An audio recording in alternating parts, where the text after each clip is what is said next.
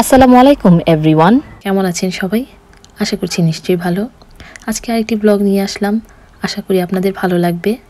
আর এটা ছিল উইকেন্ডের আমার হাজবেন্ড ঘাস কেটে নিচ্ছে।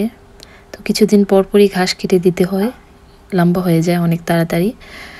আর রুদ্রও দিয়েছে অনেক সুন্দর বাইরে। অনেক গরম। উইকেন্ডে আমার অনেক অনেক কাজ থাকে। ওয়াশিং থেকে শুরু করে ক্লিনিং অনেক কিছু। তো আজকে অনেক অনেক কাজ করতে হবে। আর এর ফাঁকে আমি অবশ্যই একটা রান্না করব। আর সেটা হচ্ছে ডিমের কাবাব। এটা শিখেছি হচ্ছে আরিশাস ফ্যামিলি ব্লগ ওর একটা ভিডিও দেখে। এখানে দেখতে পাচ্ছেন আমি বোয়াল মাছের ডিম নিয়েছি, পেঁয়াজ, কাঁচামরিচ তারপর হলুদ, মরিচ ধনে গুঁড়ো কারি পাউডার এসব দিয়ে এটাকে মাখিয়ে রেখেছি। তারপর মাখানোর পর দেখলাম যে এটা কীরকম একটু লিকুইডি লিকুইডি কনসিস্টেন্সিটা ছিল। তো যার কারণে এটা আমার স্পুন দিয়ে দিয়ে হয়তো দিতে হবে ফ্রাইং প্যানে এদিকে আমি ফ্রাইং প্যানে অয়েল নিয়েছি। আর আমি যখন ভিডিওটা দেখি আরিশাস ফ্যামিলি ব্লগ ওর নাম হচ্ছে সাজিয়া। তো ওর ভিডিওটা দেখে আমার খুব খেতে ইচ্ছে করছিল। সময়, সুযোগ মতো পাচ্ছিলাম না বানানোর। তো আজকে যেহেতু আমার সুযোগ হয়ে গেছে, তো ভাবলাম যে এই ডিমের কাবাবটা বানিয়ে ফেলব। এই যে দেখতে পাচ্ছেন, এটার মিক্সরনটা কীরকম হয়েছে। তো এই কাবাবটা হাত দিয়ে দেয়া যাবে না স্পুন দিয়েই করতে হবে। আমি এটাকে ভালো করে মেখে নিয়েছি।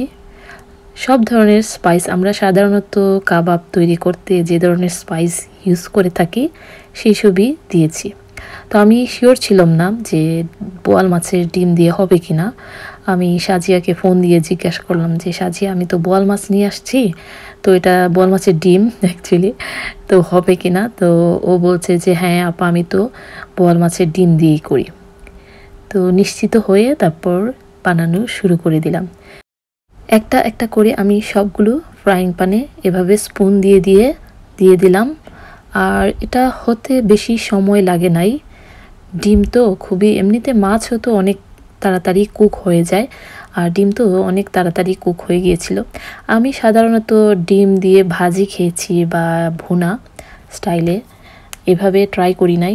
আমি একটা ইতিমধ্যে খেয়ে দেখেছি, অনেক অনেক টেস্টি এই যে এখানে একটা প্লেটে উঠায় নিয়েছি। আরও হচ্ছে অন্যদিকে।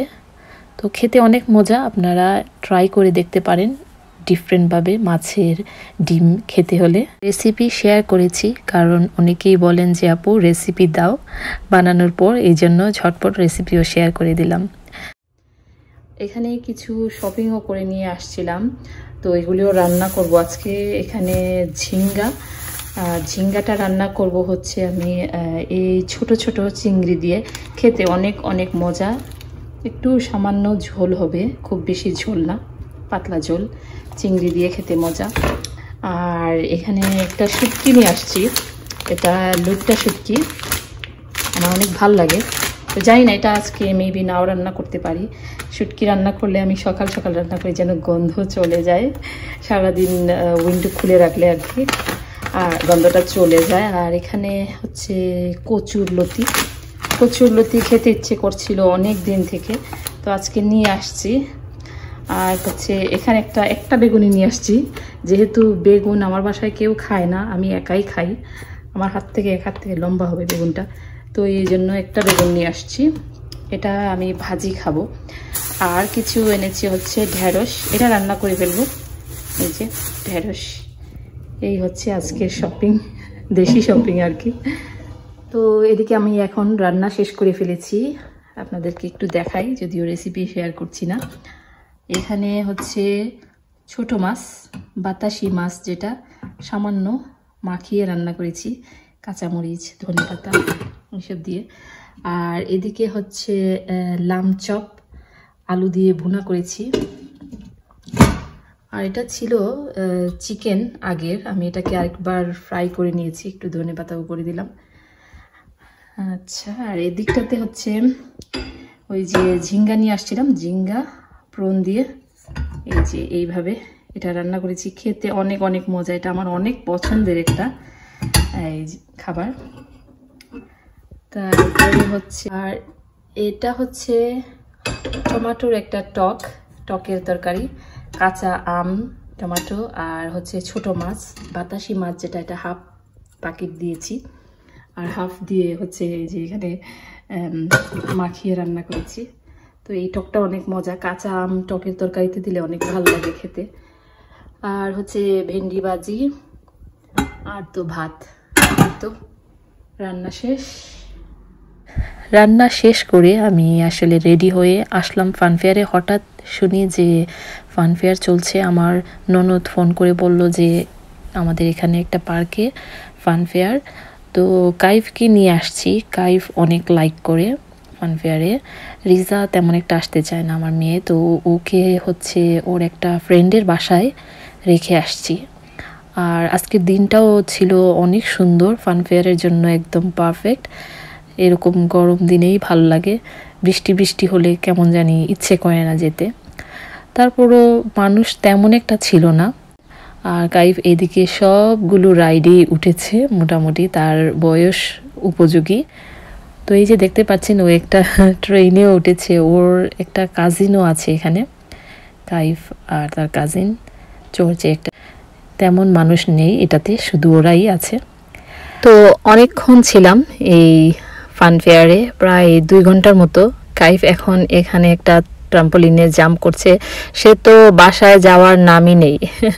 মনে হয় যেন এখানে সে পুরা দিন থাকবে। আর আমার অনেক গরম লাগছিল। ওয়েদারটা হঠাৎ করে খুব বেশি গরম পড়ে যাওয়াতে আমার আসলে ভালো লাগে নাই। তো বাসায় চলে আসছি এখন। আর এটা হচ্ছে বিকালবেলা। আমি গাছে পানি দিচ্ছি। এখন প্রায় প্রতিদিনই দেখা যায় যে গাছে পানি দিতে হয়। বৃষ্টি হচ্ছে না তো এই জন্য মাটি ড্রাই থাকে। আর এদিকে আমার শিম গাছে শিমও ধরে আছে। গাছটা তেমন বড় হচ্ছে না, শিম ধরেছে, এগুলি ফুল বাসায় ধরে যাওয়াতে। তো আমি দেখি ইপসাম সল্ট নিয়ে এসে এই গাছটাতে দিব। আর এখানে কিছু বিলাতি ধনে পাতা, এটা আমি দেখিয়েছিলাম। বাজার থেকে এনে খেয়ে তারপর পানিতে ভিজায় রেখে এটাকে চারা তৈরি করেছি। খুবই সুন্দর চারা হয়ে যায়। আমি তেমন সবজি করি নাই, ফুলটাই বেশি এখানে। আর ফুল হচ্ছে মানে চোখে শান্তি দেয় আর কি, আর কিছু না, ভালো লাগে দেখতে। এই যে ফিউশেস গাছগুলো দেখতে পাচ্ছেন, অনেক অনেক কলি আসছে। আরও কিছুদিন পরে ফুলে ভরে যাবে একদম। আর এটা হচ্ছে কালো কাঁচামরিচের গাছ, যেটা আমি গত বছর রেখেছিলাম বাসার ভিতরে। আর এই বছর এখন আবার এটা হচ্ছে পাতা দিয়েছে। যদিও এটা অনেক আহত হয়েছিল। মে মাসে বাইরে নিয়ে আসার পর এটাতে অনেক বেশি ঠান্ডা বাতাস থাকায় হচ্ছে পাতা সব ঝরে যায়। অলরেডি কাঁচা মরিচ চলে আসছিল, তারপরে এটা ঠান্ডার কারণে পাতা সব ঝরে গিয়ে আবার নতুন করে পাতা দিচ্ছে অবশ্য। তো ধরবে ইনশাল্লাহ। আশা আছে। এদিকে আমার এই হাইড্রেঞ্জা গাছটা দেখেন, আমার যে কি শান্তি লাগে, যতবার দেখি অনেক ভালো লাগে। ফুল ফুটে আছে, অনেক বিশাল বড় বড়, দুটা ফুটেছে আরও ফুটছে। এদিকে ঘাস ও আমি পানি দিচ্ছি, কারণ ঘাসও অনেক শুকিয়ে যাচ্ছে। প্রায় এক সপ্তাহ হয়ে গেছে একদম রৌদ্র গরম। যদিও ভালোই লাগে ওয়েদারটা এনজয় করছি। এখন হচ্ছে সাড়ে আটটা বাজে বিকাল। রাত হতে হতে অনেক মানে সাড়ে নয়টা, দশটা হয়ে যায়। আর এটা হচ্ছে আমাদের বাসার সামনের দিকটা। এগুলি হচ্ছে ডায়েন্তুস, আর এগুলি প্রচুর ফুটে, যখন আরও কয়েক সপ্তাহ পরে পাতা দেখা যাবে না, একদম ফুলে ফুলে ভরে যাবে, অনেক ভালো লাগে। আর এটা টবে আরও কিছু গাছ। তো এটা আমি আবার রিপোর্টিং করেছি গত বছরের গাছ। তো রিপোর্টিং করলে গাছ অনেক হেলদি হয়, কারণ গত বছরের মাটি, সার এগুলি চলে যায়। তো আবার নতুন করে দিলে গাছটা অনেক হেলদি হয়ে ওঠে। তো এই গাছটাও মাসাল্লাহ অনেক হেলদি আবার বড় হচ্ছে। তো এদিকটাতেও পানি দিয়ে দিচ্ছি টবের। আর আমি সাধারণত দুই সপ্তাহ পর পর গাছে ফার্টিলাইজার দিই। ফুল গাছের ক্ষেত্রে যে কোনো ফার্টিলাইজার ইউজ করা যায়। আর শুধু আমি সবজির ক্ষেত্রেই অর্গানিক ফার্টিলাইজারটা ইউজ করি, এই আর কি। তো আশা করি আজকে এই ব্লগটি ভালো লেগেছে। যদি ভালো লেগে থাকে, তাহলে অবশ্যই একটা লাইক দিবেন। আর আমার চ্যানেলটি সাবস্ক্রাইব করে আমার পাশে থাকবেন। Thank you for watching